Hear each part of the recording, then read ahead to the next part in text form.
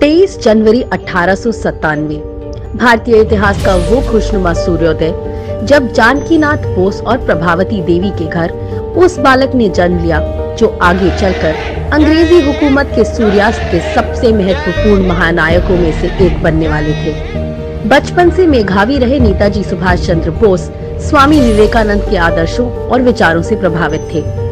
England में civil सेवा में चौथा स्थान प्राप्त करने वाले नेताजी सुभाष चंद्र बोस ने जलियावाला बाग नरसंहार से दुखी होकर सिविल सेवा से त्याग पत्र दे दिया।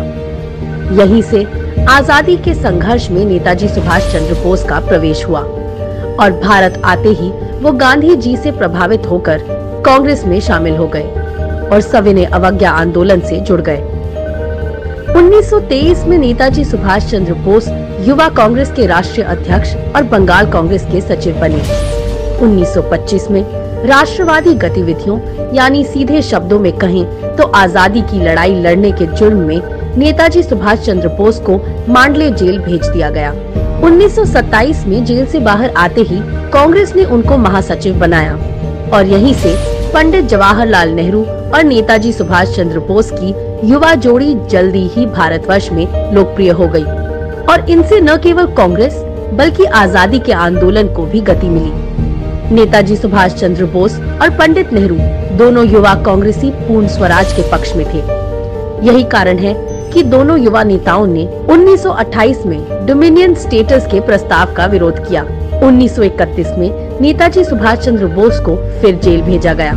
लेकिन जेल की सलाखें भारत माँ के इस बहादुर बेटे के इरादों को कमज़ोर नहीं कर सकती थी।